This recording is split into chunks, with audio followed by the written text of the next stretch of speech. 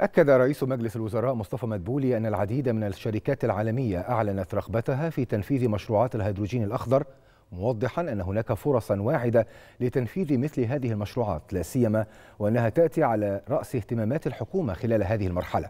جاء ذلك خلال اجتماع رئيس مجلس الوزراء لاستعراض جهود جذب مشروعات الهيدروجين الأخضر إلى المنطقة الاقتصادية لقناة السويس وذلك بحضور وزير الكهرباء محمد شاكر ووزيرة التخطيط هالة السعيد ورئيس الهيئة العامة للمنطقة الاقتصادية لقناة السويس يحيى زكي ومسؤولي الجهات المعنية.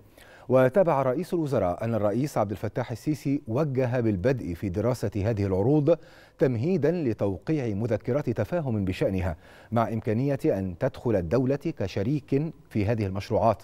ووجه رئيس الوزراء بسرعة عقد اجتماعات اللجنة الخاصة بدراسة الحوافز الخاصة بمشروعات الهيدروجين الأخضر تمهيدا لإعلانها. وكذا اعتماد نموذج لمذكرات التفاهم التي سيتم توقيعها مع الشركات المتقدمة فضلا عن طرح آلية مشاركة الدولة في هذه المشروعات.